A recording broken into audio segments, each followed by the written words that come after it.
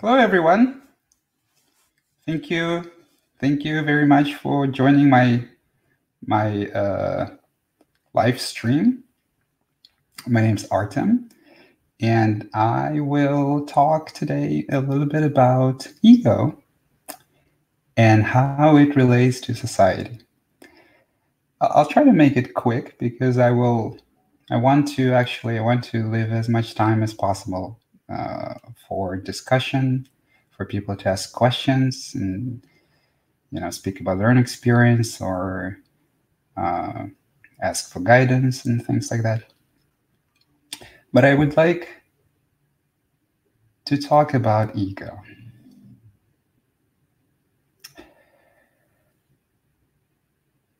It is very hard to understand what ego is.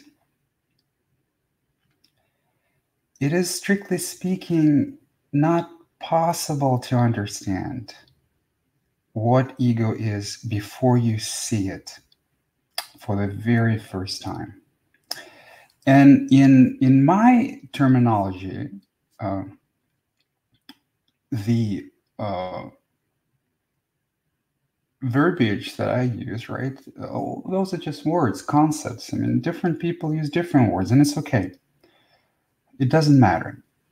But what I refer to the moment of self realization is the moment when you see your ego for the first time. And once you really see ego for the first time, it's not possible to unsee it. So that's why authentic self realization is a point of no return.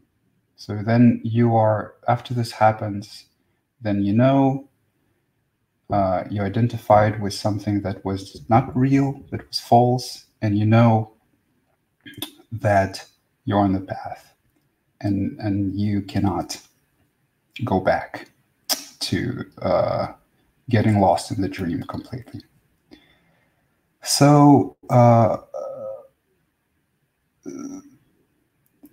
various, you know, uh, momentary uh, insights and profound spiritual experiences, you know, which people can describe as satori or uh, kensho and things like that. Uh, at that point of time, you kind of still don't know what ego is, and uh, so uh, uh, satori experiences they are uh, important because they leave you absolutely doubtless with regards to that there's something more uh, uh, to reality than uh, how you have been experiencing it. So from this perspective, they are important and beautiful, but but satori is not samadhi. So as Osho used to say, satori is a, is, is a fake samadhi, and, and it's true. But but uh, so uh, so it's hard to define what ego is uh, until you see it for yourself. And moreover, uh, what it actually is kind of changes as you go through the path, as you go through the unfolding. How you see ego also changes. But the most important thing to remember, I think, for all people, you know, for for the for the seekers of truth, for people who had satori experiences or for people who are self-realized and uh, on the path to, to enlightenment for anybody. The most important thing to remember is that ego is a social creature. It's not your body. And uh, it loves to confuse you it loves to pretend that it's the body uh, it is simply a part of you which is utterly concerned with how other people see you. And it's utterly concerned with how you see yourself, because this is one and the same thing. So it is a part of you that is invested in your self image. that is invested in how you think of yourself, how you want to appear, what you want other people to think of you. And as a consequence, every time life doesn't flow in accordance to the investment that has been made in the mind with regards to what you are, who you are, how it should be for you, then it it suffers. So ego cannot exist in isolation. It cannot exist when it's completely alone. As, as soon as you uh, surrender to your aloneness, as soon as you become alone, as soon as you uh, start meditating in solitude, for example, then it starts to suffer because it needs to be seen, it needs to be acknowledged, it needs to be validated. The seeing, and it, it could come from other people, the seeing and validation could come from other people, it could come from yourself, is the very basis of its existence. So it is related to uh, all the other people uh, in a myriad of social ties. And the the most interesting thing about ego is how it comes to be. Because uh, we, as species, we live in a profoundly sick and cruel society. And everything that ego does is ugly.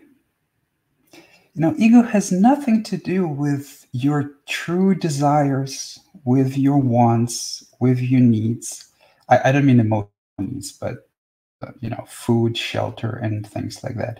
With uh, what it is that you enjoy doing in life every great work is a work of love. You know, the best people in any field,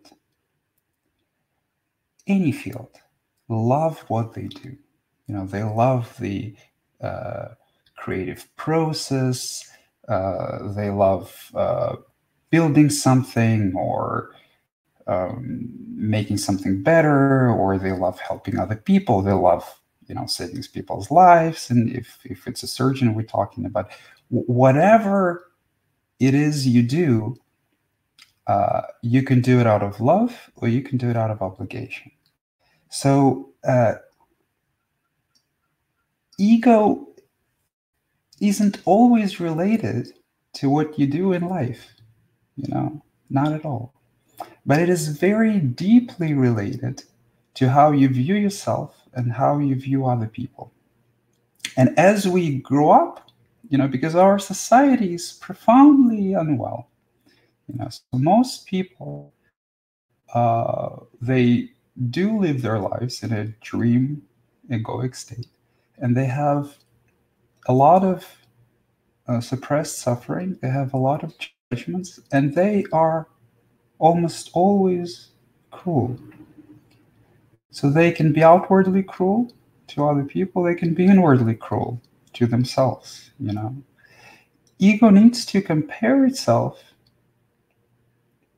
to other people, to other egos, right? Because it can only exist in comparison. The biggest ego's question is how do I compare to them? You know, who am I compared to them? Because the question, who am I, without making any comparisons is absurd. If you are the only being in existence, then you cannot uh, ask yourself, Who am I? It, it, it doesn't matter. And I'm not trying to suggest that I'm the only being in existence. I mean, the, the kind of I'm completely alone is also not complete alignment. It's also just a stage. I, I mean, it is true in a sense, but, but another true, in other sense, it, it's not true. But uh, uh, the, the, part of, of, psyche, the part of mind that holds the psychological image, that holds, the, uh, you know, it, it is psyche in a way, but uh, that can be described as ego is utterly concerned with how it compares to other people on all sorts of characteristics, you know, including good, bad, kind, you know, loving, hateful, beautiful, ugly. Uh, so our society is a society of uh, of competition, right? So we we de- departed from from nature uh, to a very large extent because from the perspective of nature, we are very simple creatures. You know, we we aren't much different from any animals. You know, we we need food, we need shelter, we need warmth, and if that things are satisfied, then just as other as any other animal, we are happy, content, peaceful, and everything else. Creativity, you know, building something, uh, creating new things helping other people, all of that. it, it is it is on, on top of this very basic, very simple reality. But that's not the reality of the ego. Because because in our society, from the very early childhood, people evaluate you, people judge you, people compare you, people give you all sorts of signals and messages about how they want you to be. What is proper behavior, what is improper behavior, what is good emotion, which is considered to be desirable when you show it. Everyone is cheered by your presence. What is a negative emotion? What you should not show to other people? You know, with what emotions you should go alone, you should go away you know, anger, tears, resentment, bitterness. Nobody likes that. So, uh, regardless of how you really feel, uh, you are trained to be a certain way. And, and, gender is also a big part of it. I mean, gender is, is actually a, a, very good example because because it's kind of obvious, you know, like we all know on some level that uh, women uh, and men are socialized differently you know like it is considered less proper for girls to be aggressive or angry and it's considered less proper for men to be weak and, and cry and, and things like that. And therein lies a profound cruelty. Because as you suppress your natural uh, emotional response as you suppress your your your your your natural being and it happens very it starts to happen very quickly. Then you start to unconsciously assume the role that people in your uh, vicinity you know uh, and then later it expands to, I mean, it starts from parents, but it expands to peers and larger society and TV and everything. So you, you start to assume the role that people in society expect of you to play. That kind of fits you. And then you forget that you assume this role. So you identify it. It becomes you. It becomes the core your identity. And all the suppressed suffering, all the pain is under, under it. And as you play this role, uh, as you know, new situations arise where your natural reaction contradicts your role, how you think you should react in this situation, how you think you should behave, what you think is proper in this situation. Then you suppress more and more and more. And you kind of accumulate this suffering from, from childhood. Uh, and if it's a lot, then it will find its outlet sooner or later, you know. And that is the source of egoic cruelty, because if you suffer inside, then you also want to bring suffering to other people. And the violence, the physical violence, the intolerance, you know, including very tolerant people who are tolerant to everybody except the intolerant ones, uh, is a manifestation of uh, uh, egoic uh, suffering. It's uh, it is an, an aggression that is uh, projected outwards you know if if directed outwards. So if it's if it's directed inwards then people usually get very depressed people get suicidal and and, and things like that. So um so spiritual awakening you know whatever like even a satori moment uh, whatever it is but but the beginning of the spiritual path can be said to be the point in time where you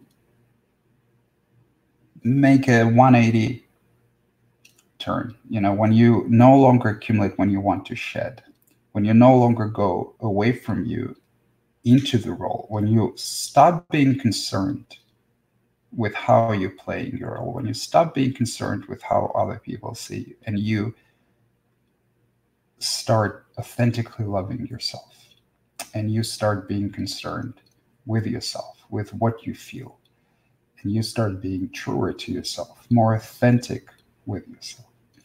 And that is how you ultimately transcend ego because you cannot get rid of anything, you can only love it. You cannot get rid of ego, you can only accept it.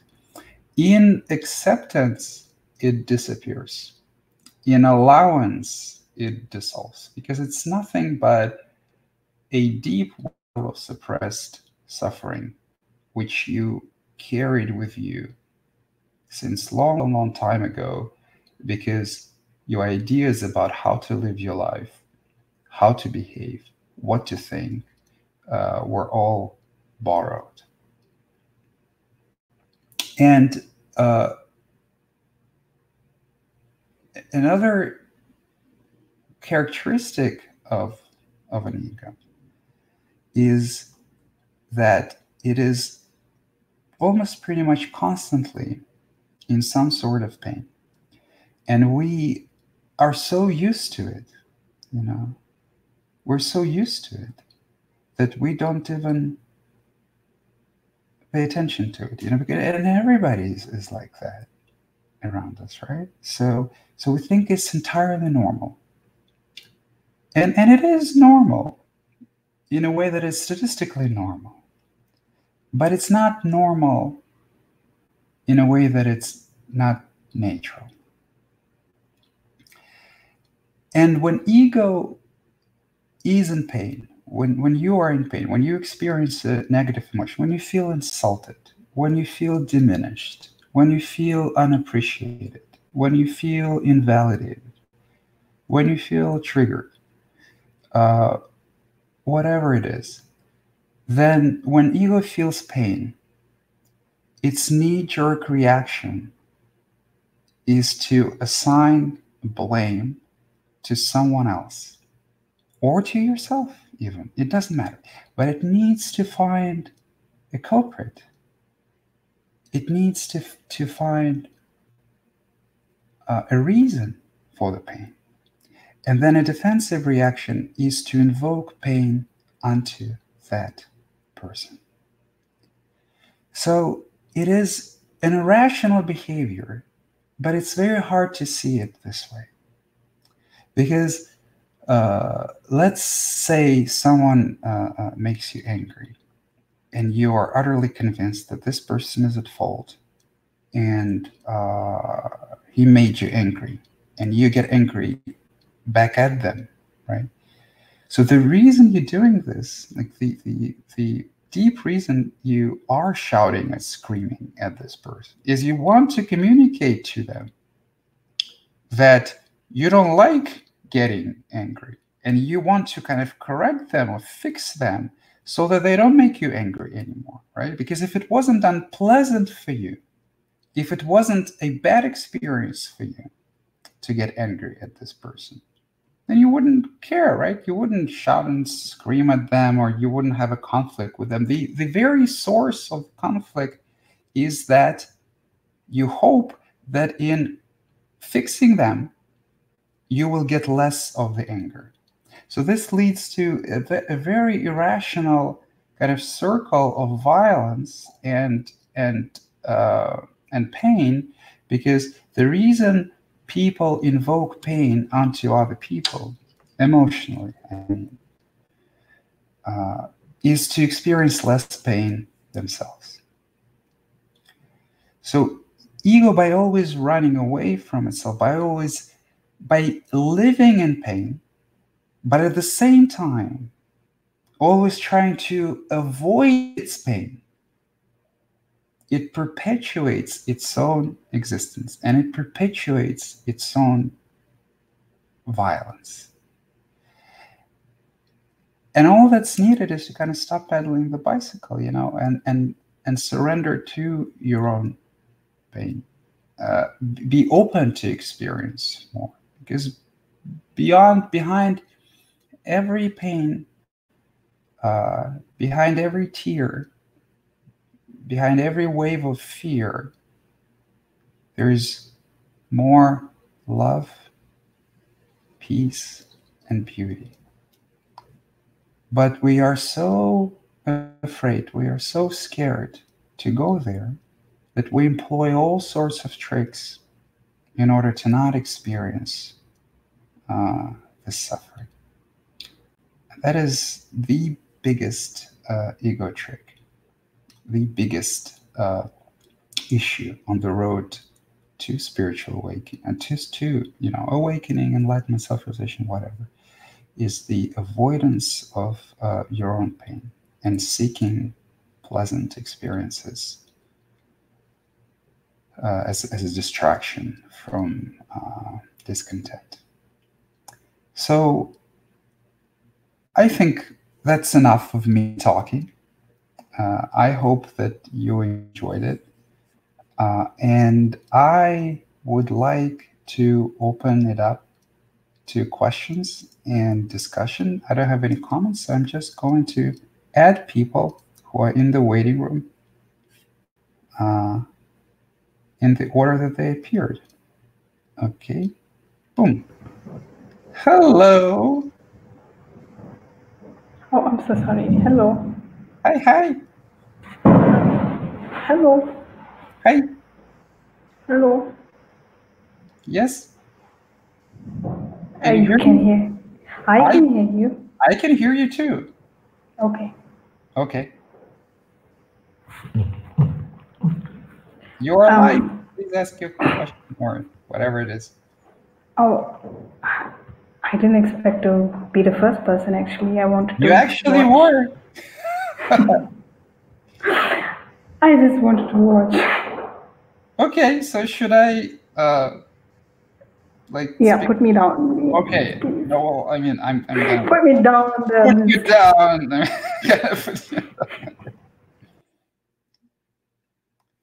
Hello, Justin.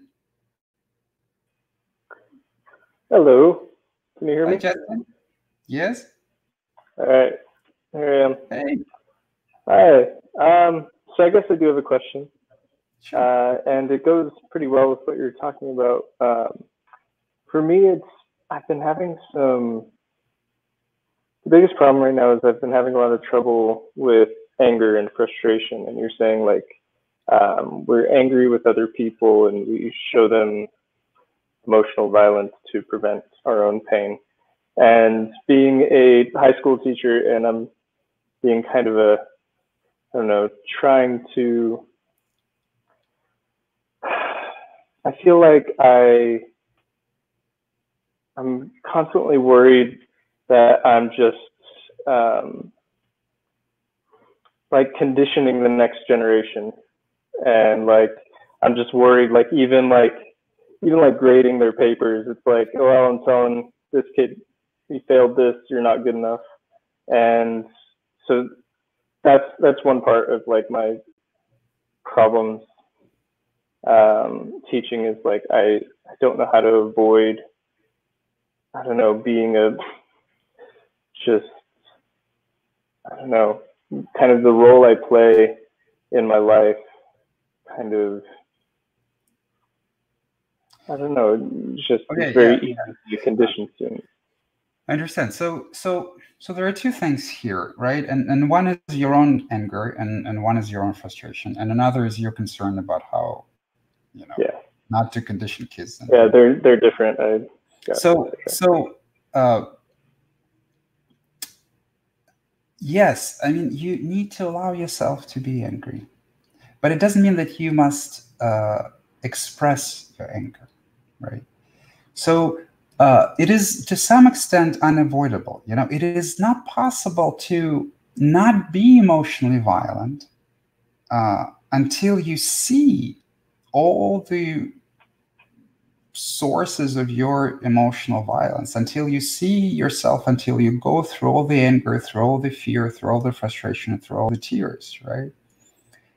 And even then some people might think you're emotionally violent but you would have no intention to harm them. But uh, the intention that we have to harm people in our speech uh, in our conduct uh, I mean, emotionally, I expect you don't harm people physically, but the the intention you usually don't see it uh, until it's still there. Well, when when you start seeing it, that's when it also becomes very unpleasant, and you can kind of get you know very disgusted at yourself and, and things like that. But that's but that's okay. You know that is that is totally fine. You cannot let go of anything before you see it, right? So so of course, you know, try not to be uh, violent. Of course, try not to say nasty things. Of course, absolutely. But when it happens, don't blame yourself for it. You know. So uh, the acceptance is inner acceptance, right? You have to be, you have to accept your inner anger and uh,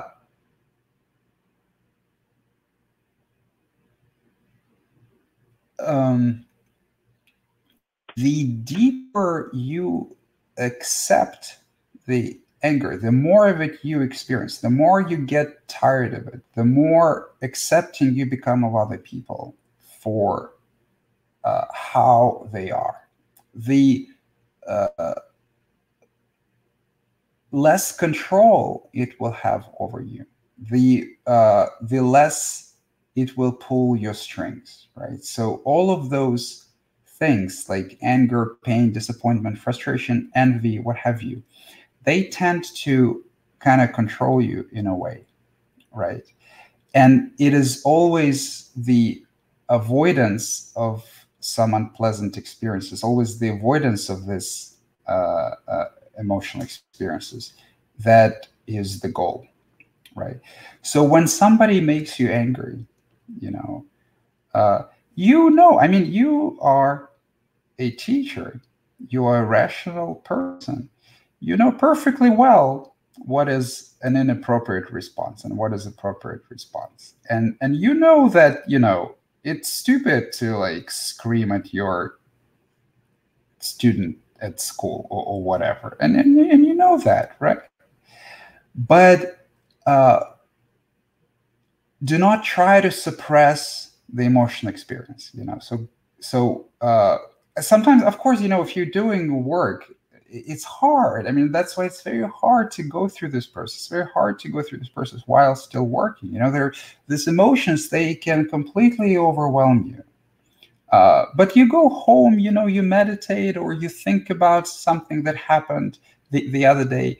Uh, allow yourself that anger as it as it arises in you, as you feel uh, the anger or frustration. You know, don't run away from it. Uh, feel it, feel it. There's nothing wrong with with you because you feel it, right? So, so uh, of course it can be very challenging uh, you know to try not to uh, spill on people this newfound level of your own negativity it's the same experience with for everybody it was the same experience for me and, and i did it you know and i did spill it onto some people uh, quite uh, consistently i might add i mean So so so it's normal.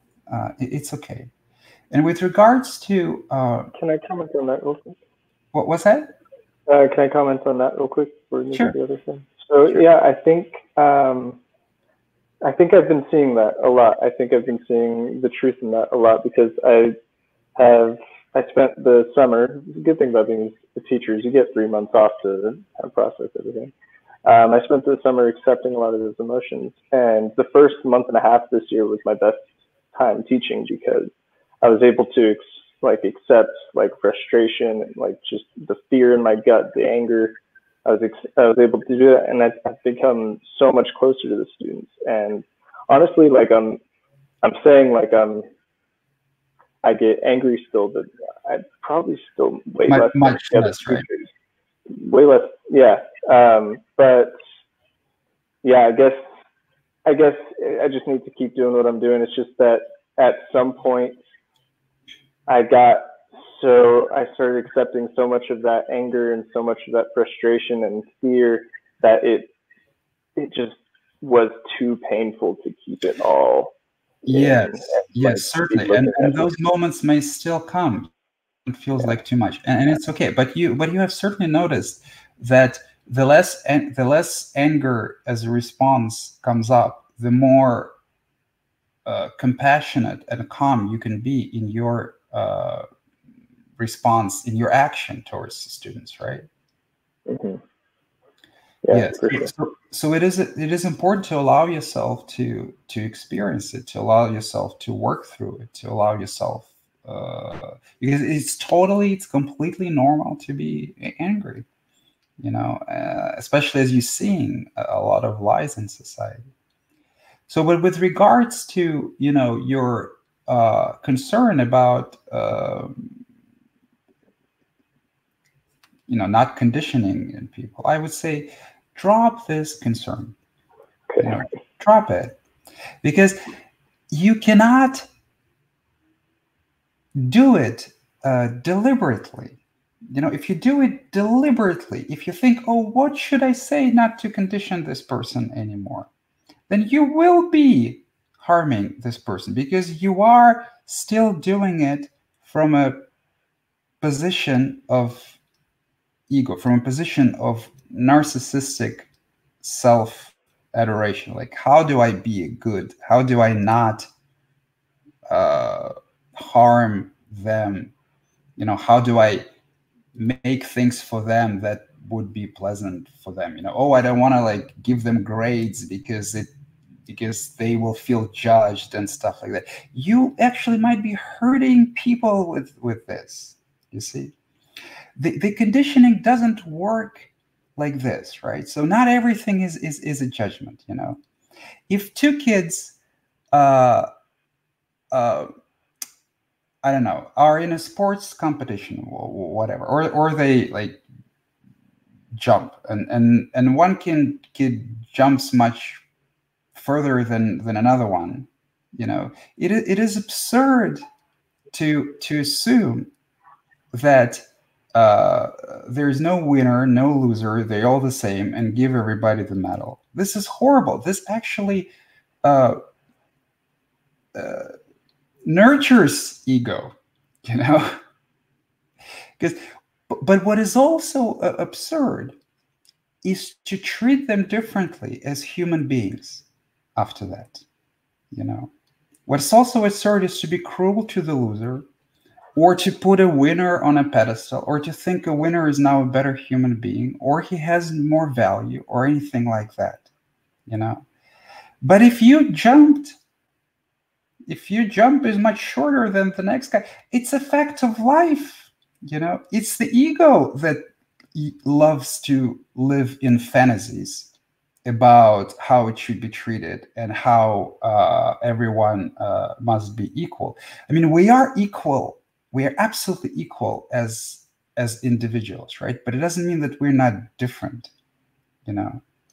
So the conditioning the true cruelty of society is not uh, that everyone has different abilities and everyone uh, uh, pours their energy into different directions and they have different interests and, and as a consequence they excel in different things. That's not cruelty. The cruelty is aggression, is emotional and physical violence. You know, it's when the kid with an F comes home, right? And the mother or father says something like, oh jesus just look at good for nothing or something like oh i knew nothing would come out of you or something like that you know or whatever whatever it is like you can come up with all sorts of cruel remarks that are designed to put down a person you know so so obviously you know if somebody gets an f and, and gets upset about it you know, then of course you can console them. Like there's nothing to be upset about. Maybe you should put effort. Maybe you should put more effort next time, or maybe it's not that important for you. You know, what, what like like it's uh, you know, there's there's all sorts of things that you can do to support people without being violent to them. The most important part of this egoic judgment is that if you conform to the society standards, this is somehow makes you less of a human being. It makes you worse. And it is insanely callous, you know, and yet we do this all the time to each other. And uh, and that's pretty much, you know, all, all, all you can do. So treat every kid as a, as a human being with their own struggles, with their own desires. I mean, some might not want to be in school at all, but they, they're made to be, you know, and because they don't have a choice, you know, and it's understandable. They might not care about any, you know, the subject that, that you teach. Does it mean you have to give them an A? No. But, but does mean that you can be compassionate, understanding of their uh, position in life? Well, of course you can be. You know you can try to be. And uh, i mean some like your subject you know try and fail. You know they need your uh, uh, support and and and uh, uh, acknowledgement and the word that i was looking for. Um, i forgot anyway yeah so so there is a, a, objective truths of life, right? And then there's judgment. There's judgment. You know, if uh, of course schools are cruel. Yes, schools schools are very cruel. I mean, but they're not cruel because uh, there are there are uh, tests uh, that test knowledge. I mean, a, lot of them don't test knowledge very well, as, as, I'm sure you're well aware. Like they test memory and things like that, but they don't test understanding. Uh, uh but they are cruel because they are uh, mandatory, right? So regardless of what you want to do as a kid, you need to go there and you need to study this. You need to study this regardless of what your interests are, and we're going to measure and evaluate you and there's all sorts of shaming uh, mechanism. And your parents are going to be not happy with you uh, if you don't perform well and things like that. And and this is of course cruel you know? But uh, uh you kind of have to decide you know? You, you want to fight the whole system then the position of a teacher is not a very good position right? You have to like become then you know a uh, educational system reform activist and, and things like that, right? So in, in the position of a teacher, uh, uh, the most important thing is, the, is that you don't add on to this judgment. You see, that you that you understand uh, that that you uh, uh, treat them as individual uh, human beings.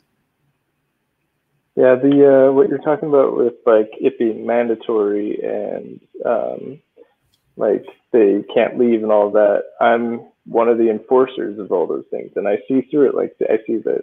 Well, I I just I don't agree with it. I see that like um, I see that it's silly that it's mandatory in some ways. Like it's it's there are some students who being at school is not the right thing for them at the moment, but like part of my job to enforce rules, to enforce all of. Oh yes, I mean this is your situation. Part of your job is to enforce these rules, right? Yeah, and, so that's and, where so much just fighting in my brain. Yes, yes, yes. I, I, I completely, completely understand. Right, but it's a trade-off. You, you know, right? So, uh, of of course, uh, right. I mean, imagine uh, a prosecutor, for example, who uh, helps uh, find and prosecute criminals. And I'm not even saying that our rehabilitation system is a good system. It's horrible. You know, prison is, is, is a horrible, horrible uh, thing to do to a person. This is not how how you rehabilitate a person. It's it's extremely cruel, and and and, and those people need more understanding, of course. But but but imagine that you're in, in this position, and then you have to prosecute something that you don't even consider a crime, like deeply, you know, because it's it's victimless and and stuff like that. But you have to do it. It's part of your job. Your uh, choice then is to either leave this job or do this lesser evil and stay on this job for a greater good. You know, so it's the same thing with you, right? For as long as you think that what you're doing is good, because you know you're spreading knowledge and things like that. Yes, the system will compel, will make you do things that you don't agree with, and that's true. But you know, where while you're within the system, you kind of have to uh, decide for yourself if you want to make a peace with it and do it because it's a greater good, or you want to leave the system completely. You want to leave the school. You, you want to you and and and contribute some other way. You know, I would say personally, I don't know if it, but now this is my personal opinion. You know, but but but I would say that uh, that in our schools. Uh, I, I actually I wasn't raised in the U.S., so I'm talking about uh, I'm 42 years old and I was raised in Russia, so it's another country and it's like 30 years back. But back then, there were almost no good teachers in school. They were all very judgmental, very emotionally violent, and they treated us almost like slaves. And I'm sure it's it's it's better in in the U.S. Uh, but but uh, uh, I mean, regardless of your level of spiritual attainment, whatever you know, this this thing is going to continue for some time you know and i think we need more compassionate people at school more people who are understanding more people who can touch the students not only with knowledge and discipline but with uh, heart love and understanding.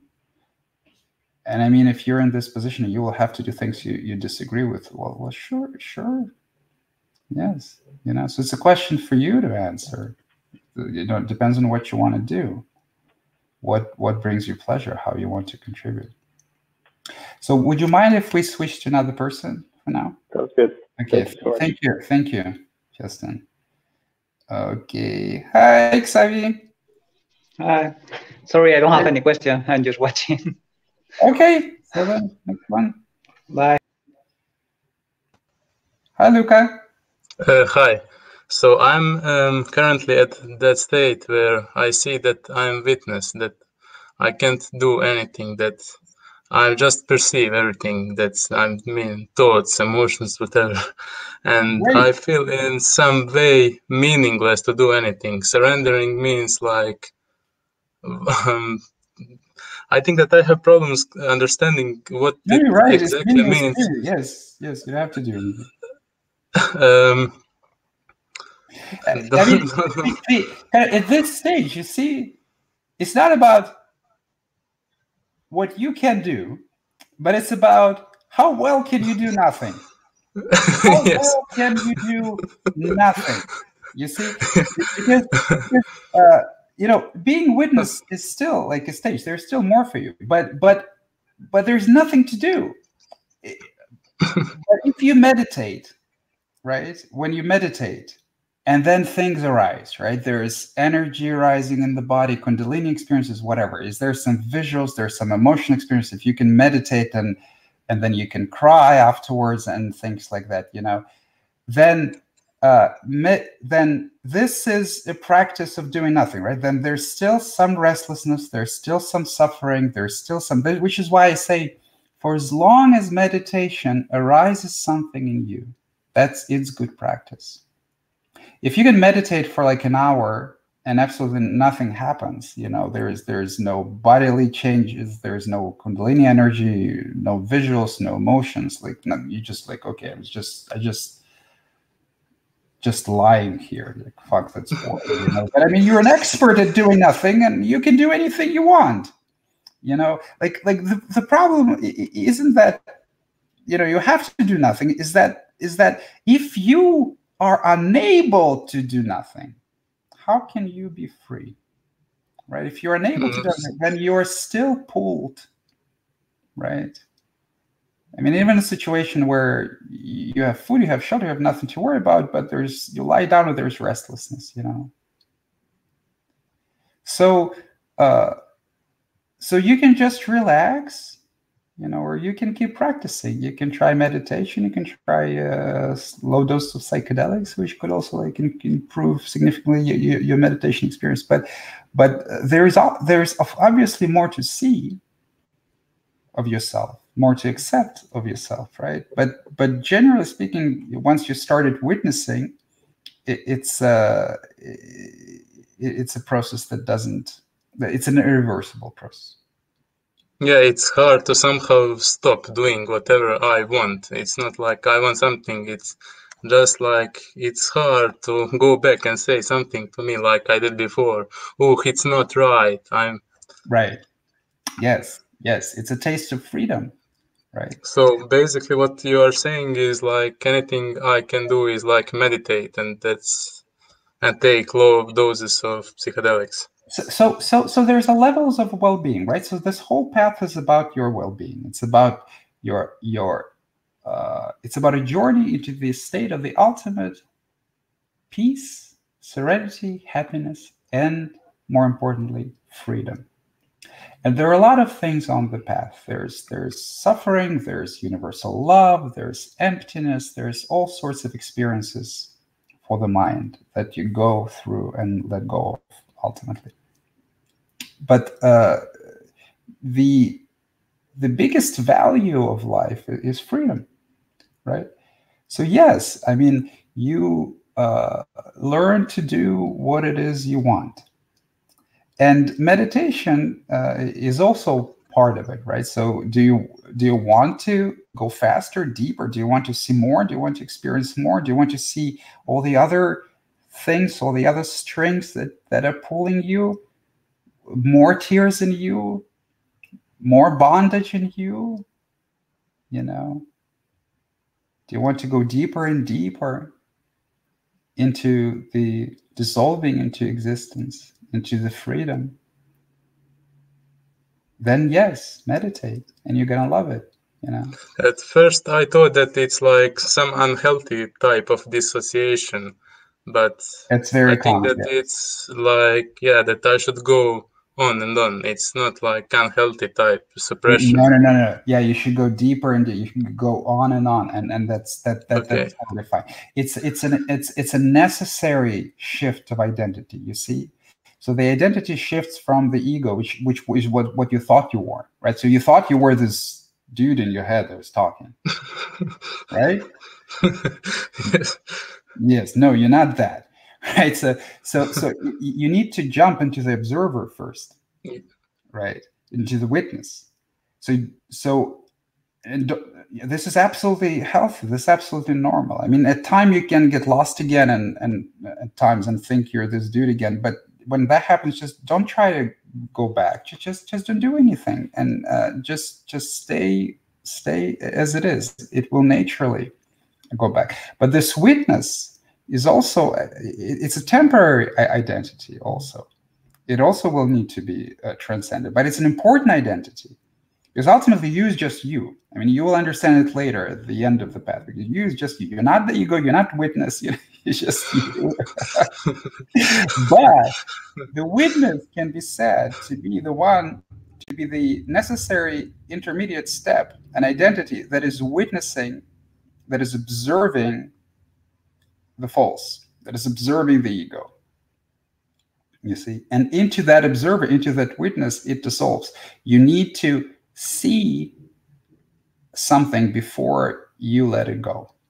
You know, you need to experience suffering before you let it go. You need to see your patterns before before you let it go. So you're witnessing. You're witnessing your thoughts. You're witnessing your emotions. You're witnessing, and and the and uh, the more of experience you allow, uh, the uh, deeper you will see your kind of composition.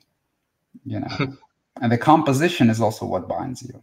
This this is the bondage you know? All of your beliefs about yourself about how you should be and behave in, in, in, in different situations. What will bring you happiness? What makes you miserable? All of that. Right so so so it's really i mean i I, I, it's good yeah. And practice will intensify it. It will make it faster. That's that's all it is. Because um you know a lot of people after they become you know the witness they they don't do anything. And and and it's totally fine if they they, they enjoy the state if they enjoy it, doesn't matter in the end you know how much of it you go through uh, in life but, uh, for some people it tends to unfold relatively quickly and relatively deeply uh, some people it, it doesn't but the deeper you go the deeper uh, you know peace, serenity, and well-being uh, you experience, right? And, and there's some fear on the way too, and there will be more fear in you. So if you just stepped out to be the witness, then there will be much more fear, uh, and it's fine. You see, I mean, you. Uh, if you have nothing to fear but, but yourself. So, do you think maybe is it productive to smoke pot, uh, weed, because it, it some, sometimes make me paranoid. So yes, I don't know whether it's like that's the fear. Uh, so yeah. I personally think that it can be very productive, right? But it depends on. Uh, so so look at what's happening when, when you do that, right? So I can tell you a little bit about about my experience with with weed. So so so when I especially in uh, like now it's it's it's somewhat different. It's it's it's much milder. I mean, it's the same thing, but just like very very very mild. But but before, uh, like a year and a half ago or something, that if I, I could I could smoke a little bit, and there would be yes, there would be there would be uh, fear. There could be some visual host. It was just basically like like a mini LSD trip. So there could be fear, there could be uh, visual hallucinations, there could be mind racing and things like that. But there also came insights, you know, and uh, they don't come during the uh, resistant resistance uh, stage of the trip or like mid trip on on on weed, or, because it usually doesn't last long. No, this is just fear the mind's madness, the rumination, the emotion, the resistance, and everything. They they come later, you know, because because later as you go through this and you find yourself, it is okay. So the mind is quieter now. Uh, there, there's you know more sensitivity with regards to your your senses, and and the mind might still be thinking of the insights might come, and the authentic insights they almost never come in in the like bad part of it. They come either in the plateau part of it, or even better, they come later, like you know, a day later or or or, or, or something like that. And the authentic insights. Uh, they come and they they stay. You know, it's never just a thought. It's oh my god, this is true. This has always been true. It's obvious. I just it's always true. How could I not know this? How could I forget this? That's an authentic insight. You will never, like for example, uh, even the the insight, like my, I can tell you from my own experience, the insight that I will never experience death. It's not something that you. It's possible to experience. I can only experience life, right? Even until the very end of life, it's going to be life. You know, and all fear of death is in reality the fear of life. It's the same thing. The death is not something that you can experience. Is it came to me on uh, weed actually, but again, not in the bad part of it, right? I mean, I mean, uh, I was I was very normal. Uh, I, I was just sitting and just watching the clouds and and uh, there was a maybe slight uncomfortableness and and the mind and there were some passing thoughts in, in the mind and, and and then and then it hit me you know so it uh, uh, it is not in the kind of psychedelic visual weird parts of, of the trip where insights come i mean this is just going through egoic madness you know. They come later you know.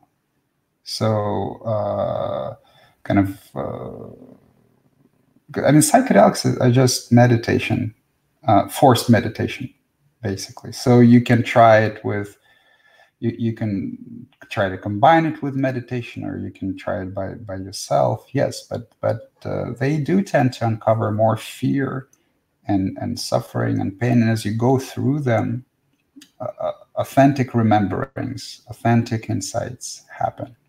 And it's authentic if it stays you know it's just a crazy thought during the trip you know. No i mean authentic insights is it's always been like this you see because it's a remembering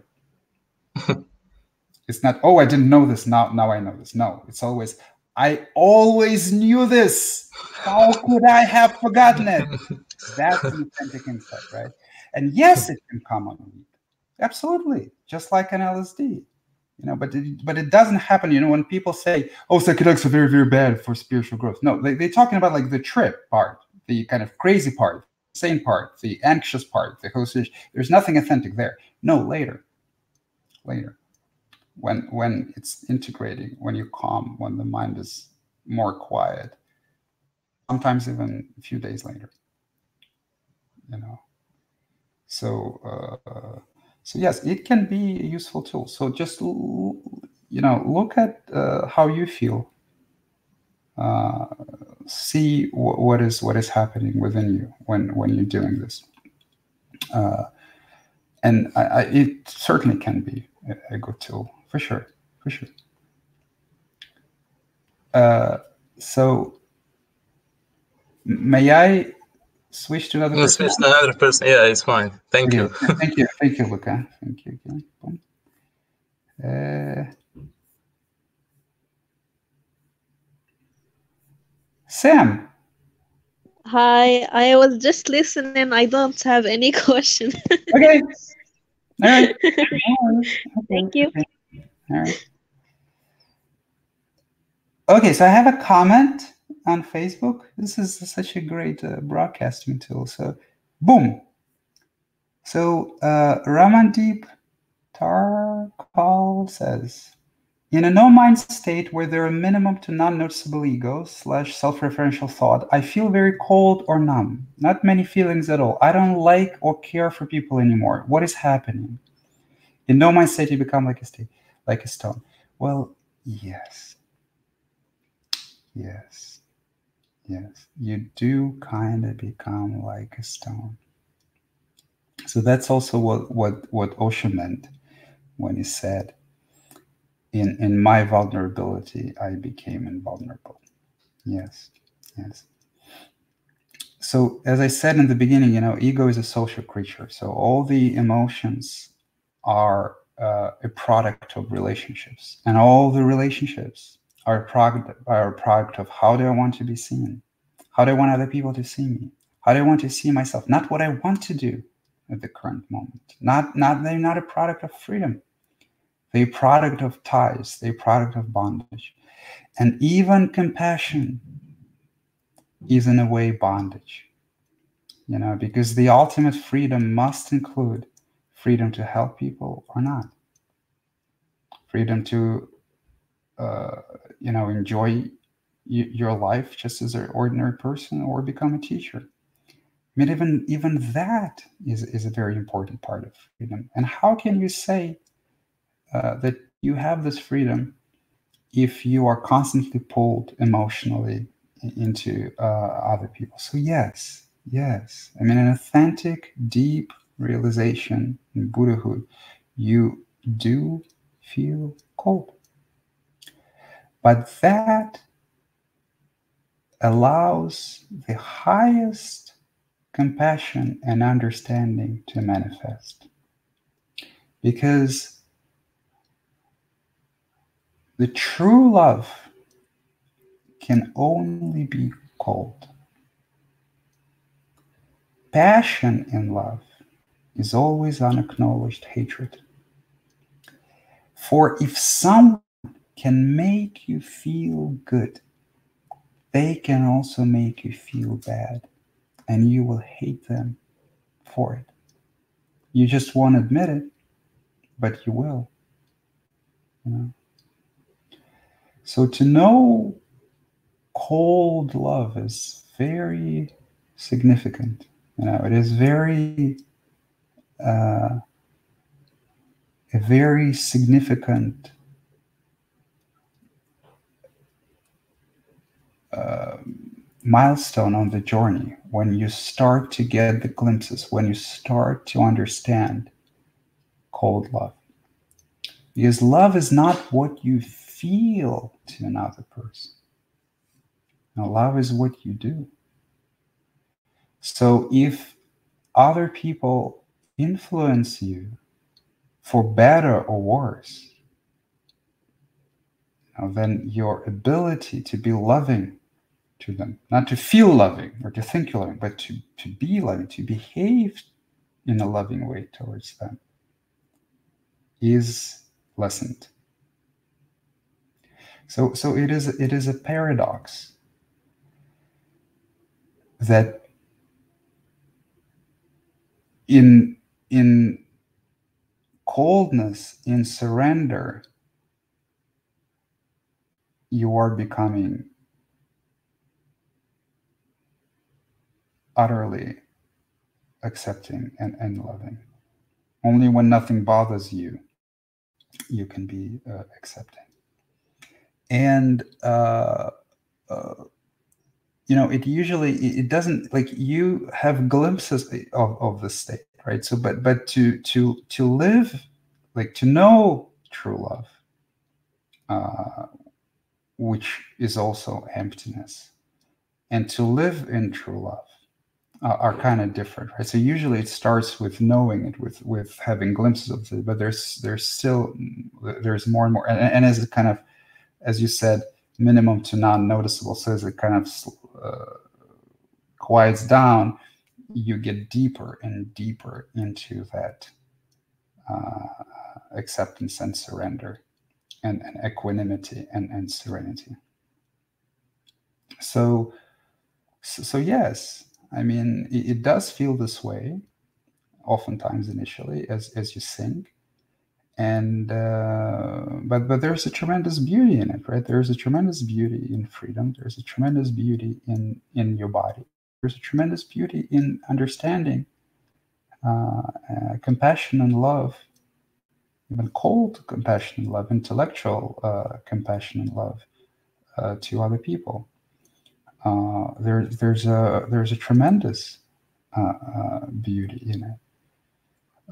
So I think you're on the right track. okay, so um, another question from Z King. Artem, could you comment on the difference between being cautious and fear? Does being cautious slash careful in life also stem from fear of death? For example, I know someone who carries a gun everywhere he, he goes and he claims he's just being cautious.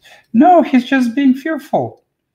You know, if he lives in a ghetto where he uh, walks by uh, 10 uh, shootings a day, I don't, I, I don't even know if such places exist. I mean, what we call a ghetto is usually is not like well yes there's more violence going on there but they're not usually like places where you're going and everybody kills you right, right away. No i mean people live there. There's more violence but but they're people. So so uh, unless you're in a war zone let's put it this way then if you carry a gun with you everywhere you're just being fearful and you also want to use it too you know and you will get into these situations you know it, it's it's uh it's stupid it, it's absolutely stupid. The difference between cautious and cautious, being cautious and fear is uh, internal, you know. So uh, and also rational. So, like for example, uh, it is, you know, uh, just one example. So, so you, you're much more highly likely to to be dead uh, in a in a traffic incident than to be to die by by gun violence right? So if you took extraordinary measures uh, to prevent yourself from dying uh, in street violence like like you go to uh, uh self-defense classes and you get a permit and you carry a gun everywhere. So you invest time effort, uh, all of that, right? Money, training, in order to to make you sail safe from this, uh, ostensibly, seemingly, right? And then you look at something else, which is much more likely to cause you death, and you ask yourself, how much time, effort, training, skills did I invest in order to avoid that death? And the answer is zero. And you have to seriously consider, you know, whether you do it uh, out of fear or out of uh, some uh, unconscious attraction to violence, which can be expressed and explored in any number of other ways, which is much safe, much safer for the public. I personally think that any person with with, with, with a gun on the street is, is dangerous to to public. Uh, uh, so it is it is uh, the being cautious is is rational. You know uh, fear is irrational. Fear is based on beliefs that have no basis in reality. You know like uh, for example some people are afraid of flying you know. Some people would rather take a drive from San Francisco to Los Angeles, for example, uh, which is an eight hour drive, then uh, take a one hour flight. So if you just calculate the chances of you dying during that drive versus during a flight, they're going to be very, very low in both cases. But still, you will be hundreds, if not thousands of times less likely to die if you took the flight. You know, so fear is irrational always, and the fearful response uh, comes from you know how you feel inside. You know, so people who are afraid of flying, uh, it doesn't matter if you quote them this information; it is internal. They're just afraid. You know, people who are afraid of violence, who are afraid of being shot, they may have violence happen to them. You know, you know, the ego is an interesting thing because it does not recognize change circumstance because the image of yourself is static. Like, for example, I can tell you from my, experience, like I grew up in a place where there was a, a lot of violence, uh, a lot. Uh, and I also went to Russian army where even though, I mean, where, where, where so a lot, a lot of violence, senseless, stupid uh, violence. Uh, and I'm not, I'm not talking about like pretending to be violent versus enemy, and real violence versus each other. You know, the kind of machismo type of violence.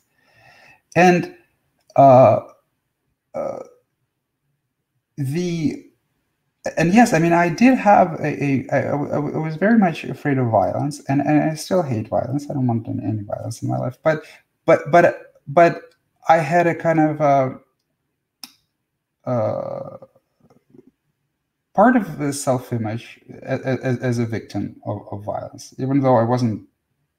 I mean, I wasn't very much victim of violence, but but there was fear, right? And when it's not like when I moved to a place where violence is very rare this fear went away immediately. It took some time to recognize the changed circumstance. You know, it took some time. So because because this this image is is static, you know. So so uh, the people who are very uh, attracted to guns, it, it's it is always connected with uh, uh, violence on, on a deep way. I mean, sometimes it's rational, but rarely, very rarely. It's usually fear. It's fear of violence. It's a fear of death, or it's an attraction to violence uh, on on a subconscious level which doesn't mean that these people are dangerous you know like sometimes you need a good person with a gun there's nothing wrong with that right so they it doesn't mean that they have less control over their impulses than than you have it, it doesn't necessarily mean that doesn't necessarily right but but if they were to go through the process of spiritual awakening, that would be one of the things they would look at. You know. Uh, so, so uh, yeah, um, it, it, it, you know, it's not going to help neither of you if you go in to argue with him in, in a kind of a forceful way, you know. But but the more authentic they are, with themselves, the better, right? So a person who says, who lives in a in a in a non-violent neighborhood and says, I, I carry a gun because for self-protection. I mean, it's much more self-deluding than a person who says, well, I, I carry a gun because I kind of like to feel safe and I kind of like to think that when something happens, I'll be able to do something, like in the movies. You know, you know, it's it's it's much more honest, at least you know so uh, honesty is very important in, in this process okay uh, next question uh, michael i had a lot of emotion release in my first acid trip beautiful. A lot of tears, laughter, nice. And the Kundalini experience, I was easily accepting all the emotions. Wonderful. But about one hour after the trip, when I tried to meditate, there was so much resistance to fear. Yes. Yes. Uh, uh, it felt like I'm not able to accept it anymore without the acid. Um, hmm. It's just the fact that meditations on psychedelics are always more powerful, can go much deeper. Well, well, well, well, yes, but it doesn't mean that you cannot accept it without the acid. You see, it's the, the process of acceptance and, and the resistance that arises is the same process, right? Because for for as long as there's still something to accept, that's resistance. If there is fear, that's resistance. So, yes, I mean, yes, I mean, any psychedelic will help you break through resistance and be more accepting and it, it, it's not going to be very pleasant also yes uh, when you uh, lie in meditation without psychedelics and you and you feel uh, a fear coming coming up a big fear and you're like oh my god i'm not able to accept it that that's actually that's actually good because it, it probably wouldn't uh, come up in, in such a way if you didn't have the acid trip. So actually, so it uncovered a kind of a new layer on fear, which now uh, follows you in meditation. you see, so you will feel resistance. Of course, you will feel re- re- resistance. You know, so it's not like you need psychedelics to accept uh, anything they do uh, intensify the process of surrender. The whole life is about the process of surrender. They do intensify it uh, in the same way that meditation is. They, they they are more intense. Yes, so they're basically kind of a forced meditation. So you can you can go much deeper in, into uh, resistance uh, uh, on on a psychedelic, and afterwards you can have a lot of you can get exposed into a lot of resistance you didn't know was there, which I think is what happened uh, to you. So, so yes, I mean it is more powerful, of, of course, right? But it doesn't mean that meditation doesn't work or meditation isn't powerful. Uh, and it's not about going to some depth and then going back. It's about uh, learning to let go, learning to resist less. It's about emotional release. So uh, uh, you, you, can use psychedelics to to help in meditation to to, to release more. You know, don't think about it as like going deeper. Uh, but I, I, think I think you use it in, in the same way uh, uh, that I do. So so I don't see a problem here. Okay, uh, let's see. Uh, we have a comment from Jacqueline. Jacqueline Stover. She says, "I feel I'm learning the art of not giving myself to a loved one." Okay, well, I mean, I, I, I, I don't know what to say.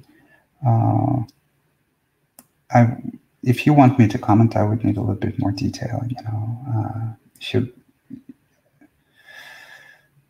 Okay, I would like to add Julia to the stream. Hi, Julia. Can you hear me? Hello. Julia? Yes. Hi. Hi. You're you're live. Yes, I'm here. I've been listening for the past 20 minutes. cool. I, I, I, don't think I ever heard you speak. Uh, I did. We did chat last time, I think. Uh, but yeah, good. Oh, we probably. Oh, okay. Uh, you you have a. I have a camera. I can switch myself on if you want to. You have almost like a British accent or something like this. Hey, this is me. hey, hi, Yuli. Yes. So, did you have any questions? or comments or whatever it is? Uh, questions or comments? I think I missed most of the part. Uh, after I'm sorry about. Shame that. on you. I'm gonna be expelled. Bad girl. um, because you know I'm kind of going through this uh, stage of kind of becoming a bit disappointed in my positive kind of beliefs and views of good. That's that's the problem. With most yeah, people. They get very disappointed with their uh, no, and that, but they don't get to the point where they start to get disappointed in their positive beliefs, you know, because no, positive thinking is also not reality. No, I know. so what is you know yeah. what what is and it can be both positive and negative are to be transcended you know both positive and negative are just ways to look just yeah. ways to to perceive you know yeah. the to see things as they are like when you see things as they are you cannot say if it's positive and negative. It says it says it is. Yeah. Know, it says it is. So it says good for you. It's good. Yeah. So the, the fact Continue, that the words when you spoke earlier about you know the intellectual intellectual compassionate love was something you know that i've been thinking about lately you know as opposed to like a rational love when you choose a partner you know you almost like i don't know have like criteria you know and oh there's some kind of emotional romantic love which is obviously short lived and you know it's never going to be there so like I'm kind of I think I'm getting a bit disappointed uh, in this belief of like finding that I don't know perfect. I mean, it's nothing to do with self-realization. You know, it's not a question about it. It's just something like so. And in the way I always thought that you know you, there will be one person that you'll find and he'll be you know your perfect match and then there should be all this like romantic thing and he will complete you in some way right sort of yeah and now i just tend to kind of look at it as more of a well it's not a contract but it's like a rational kind of decision you know to be with someone. And then it's like day to day life it's like working you know obviously you have an ego the other person has an ego. So you need to like find a common ground and then i don't know like kind of go through all these conflicts and eventually reach to a level where you know you're like have you know like mutual respect and deep understanding of each other and it's nothing to do with the initial you know romantic feeling that you normally would go through in the beginning of yes. yes initial romantic feeling oh. uh, I, I, kind of uh, i kind of based on uh, possession in a way. But i mean the, the, the, are very interesting thing about about falling in love because falling in love is great like falling in love was wonderful because uh, in in when you fall in love you let go of control. And when you fall in love you see the other person through you know rose tinted glasses as if you could do no wrong. And you're very forgiving and you're much less judgmental. And yeah. you're kind of flying and and it's a little scary sometimes. And it feels the same. It's actually much close it's a state which is much closer to reality than than than, than most people uh, realize but uh, the romantic involvement, it usually, I mean, this honeymoon stage ends very quickly usually, and even during it, and definitely after afterwards, there's also a a sense of uh, deep vulnerability because it comes from the sense of possession, right? So we become very vulnerable when we fall in love uh, because uh, we are uh, afraid that this person who we think now is the source of our happiness will uh, bring us pain. Uh, and that's why the process of enlightenment is very similar to the process of falling in love. It's just that you're falling in love with yourself. But it's also it's it's in the same way vulnerable, it's in the same way painful, and it's in the same way euphoric and terrifying at the same time. So uh, I mean, yes. Uh, on one hand, you're right. On another hand, you're you're not. So, uh, on one hand, yes, it is uh, uh, true that uh, kind of romantic love and infatuation and all these things aren't the kind of a, a deep, cold love of, of enlightenment. But on the other hand, if you don't yourself experience deep cold love of enlightenment and you're just speaking and thinking about this intellectually which i suspect you do because, because otherwise you probably wouldn't be here asking me those questions right? So then it can also be a kind of a, a, a rationalizing of love on your part you know? Okay well i'll find a partner which kind of makes sense uh, to me and we will live together and be partners and work through our egos and stuff like that. Uh, yes, I mean, if you uh, are at the stage where this is when when when you transcended the ego, you know, that's that's kind of uh, uh, uh how, how it is, right? So, so you don't suffer if somebody leaves you, right? But there's still love, you know. So, uh, but, but before that, it can be a pretense to not fall deeper in love with, with your partner mm-hmm. to stay at this kind of a rational uh, uh, practical kind of level you know not to to work around your egos instead of dissolve your egos into each other instead of falling into each other dissolving into each other in love you know so for as long as you're capable to love in, in, in any way. You know, in, in egoic sense, it doesn't matter. Uh, don't be afraid to love. Because in love, we, we grow. In love, we learn to forgive. In, in love, we learn not to judge. In love, we learn to understand. You know, and if you do not have this feeling for your partner that I just love him, you know, I, I, I can't explain how. I can't explain why love is, is not cannot be explained. You know, existence cannot be explained. But isn't love just some kind of chemical reaction in your body? You have like, you know, uh, so. you got an object, you know, and you have a nice conversation and, and whatever else. you just have this chemical, you know, disbalance in your bloodstream, and then you're in love, you know. and then and then you just you know it feels yeah it feels great and uh, and then it's like it's an emotion no? and it kind of goes away and and then you kind of try and chase it and, I think he's speaking about romantic infatuation. oh yeah fine yes i think you're right which which which is kind of yes yes but but i mean uh you know it doesn't matter right? Is so it talking like similar yes to falling in love. Isn't it the same process? You fall in love with someone and that person is you know always on your mind and then you know you have so it's not i think yes so that's an infatuation Mm. right? That's that's that's not love right? So i mean yeah i mean this is what is oftentimes y- you know when uh, cons- uh but but you see even infatuation isn't bad. I mean i would never say don't do that to you you Mm. know? Because because you see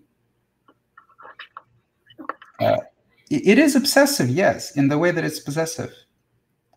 But at the same time uh, let's say like you're just you know a normal kind of office girl and you walk around and you do your job and then you meet a guy and then boom he's the only one you can think about. Now he's the only one you can think about.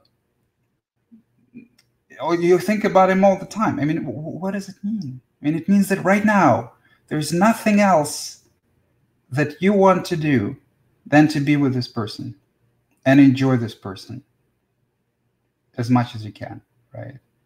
But at the same time, you have like friends, work, career, all the other things that is very, very important to you, right? And there's a, an enormous conflict, you know. So if you can, when you fall in love, you can, if you can just, you know, be with this person as much as you can, and you can enjoy each other as much as you can. This is great. I mean, good for you. Yes, the spirit will pass because because it is scary to fall in love. When you fall in love, when you really fall in love, it feels like the ground is taken off your feet. And it doesn't matter if you fall in love in, in, in another person or you fall in love in, in, in, yours, in yourself. Because you learn to do what it is you really want without thinking about what, what other people want. And if you want this person, if you want to spend time with them, that's what you want and and you can over overlook things that sometimes oh he he he has this the problem and, and and this problem and he's not good enough here and he's not good enough here because so when this initial uh, rush of hormones which is it's just a rush of love uh, it, it manifests in the in the brain like if you open the brain yeah you'll see like some hormones measured okay what what does it does it mean? It doesn't mean it doesn't mean anything. I mean, did you fall in love because the hormones flooded your brain? I mean, or did the hormones flooded your brain because you fell in love? Okay, so if the hormones flooded your brain because you fell in love, then why did you fall in love? Or if you fell in love because the hormones flooded the brain, then why did they flood your brain? I mean, you, you can go like this forever. Yeah. You know? And it doesn't matter what you put in front of what. You know? But when this initial wave of love, when you feel like you you're losing control, Mm. and that's why it can be scary. When this initial wave is gone, then the ego comes back and it and it starts to be unhappy again. I mean, oh no no no! I mean this he's he's irritates me here and he's very and, and I can't spend much time with him. And I need to distract myself from all of this discontent. Uh, I need some time for myself and, and, and think that it's very hard to fall in, in, in, in love with another person so deeply that you can, you start to dissolve your ego in it. And the same thing as falling in love with yourself, right? So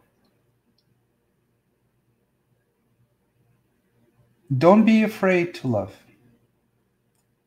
you know and the deep love is not the romantic infatuation right it's it's different you know the deep love is uh, acceptance not not non-judgment and when you when you love somebody you just know that you love somebody it's not like i love my wife i do But deep love takes time, right? It's not like you can love someone, I don't know, a week after you met them. uh, well, I mean, yeah, yeah, yeah, yeah. It's it's it's so so there are different kind of love is such an overloaded word, right? I mean, it's it's such a it's a term that is so poorly understood. And as you go deeper and deeper into the spiritual journey, you understand love in a very, very different way. Mm. But yes, I mean, there is a romantic infatuation that, that can be oftentimes about uh, possession, hope that this person will make you happy, self image, or if only I can get this person, I, I would like. How do how would you look at yourself after that? How would society look at you after that? All of those things, right?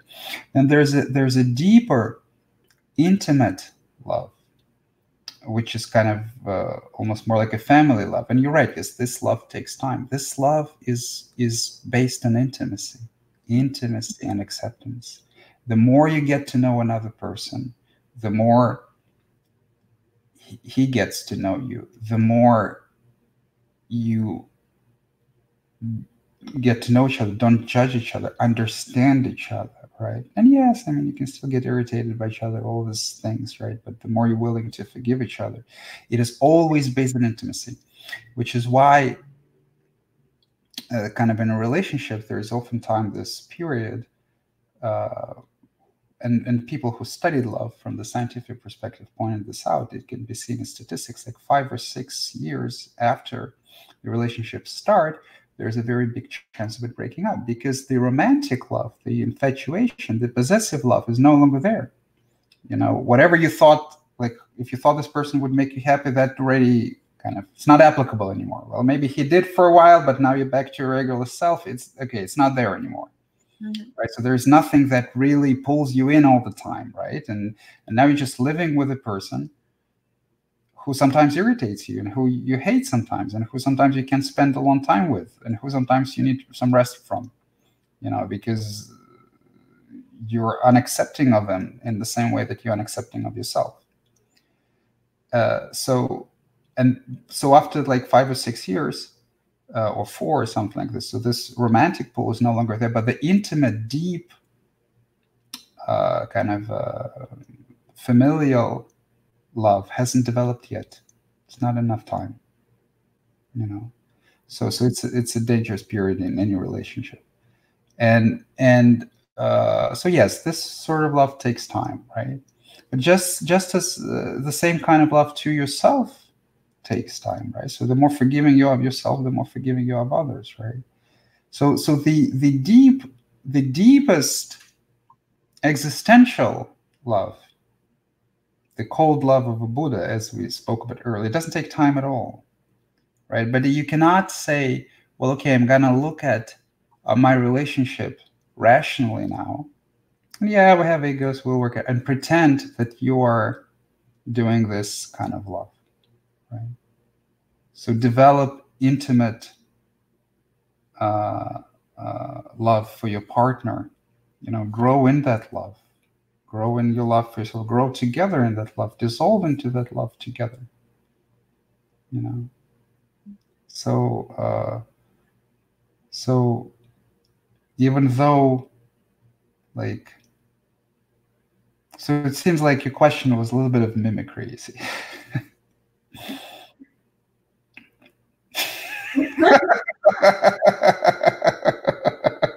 I had a conversation today with a friend of mine, and he's convinced that it should be the the rational approach is the approach, you know, the, the and which sort of resembles the the what you say as intellectual compassionate love, but it's in his description it was something different. So it was more like practical approach to relationship, knowing that you know that uh, initial kind of sparkle would go away sooner or later, and then you'll be left with the, you know, practicalities of the life, and then you know, two egos, and then you know, you'll just have to manage that. But obviously, what you explain is something, yeah. You, you know, it, it's deeper. I mean, I mean, yes, yeah. it, it is paradoxical in a way because yes, I can say that an enlightened state is absolutely rational, but but the egoic state is not Mm.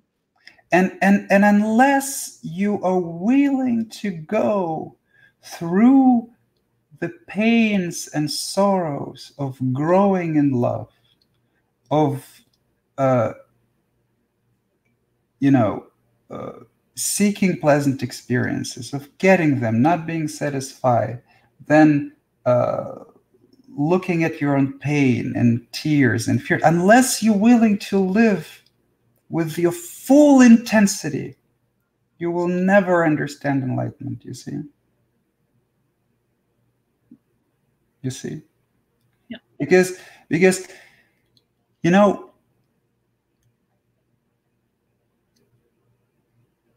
it is when someone dies, let's say, and you want to cry, you can say, Well, uh, yeah, sure. What's the point of crying? It's not going to bring it back. I'll go and watch a movie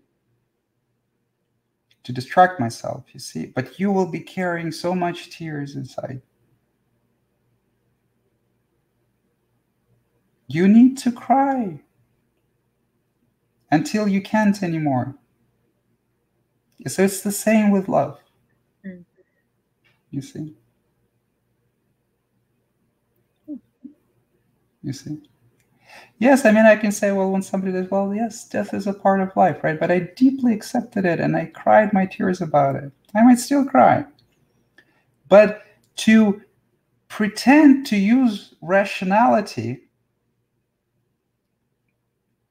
for disallowing yourself your pain, for disallowing yourself your fear, for disallowing yourself your love, for disallowing yourself your yearning, for disallowing yourself to live fully, intensely, you know, passionately, then you will always live half heartedly. You see? Yeah. so you need to open yourself up to all that comes in life. You see?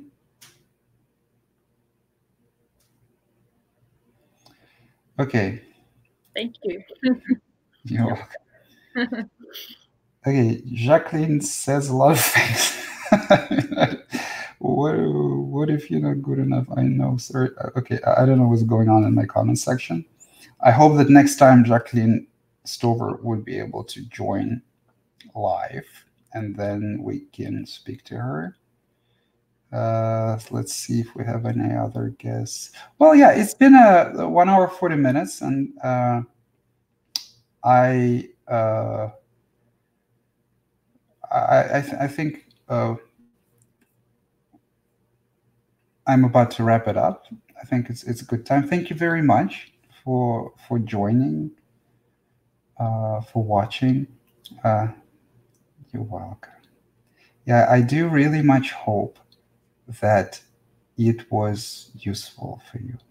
So if it, um, you know, if you have any comments, uh, send it to me.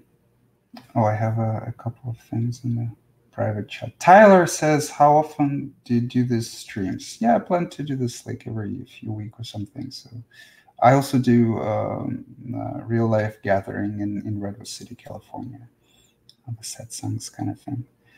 So uh, yeah, um, feel free to uh, follow me on Facebook, YouTube.